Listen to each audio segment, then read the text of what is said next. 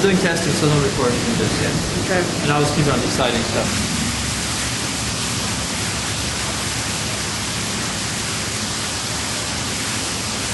Very, very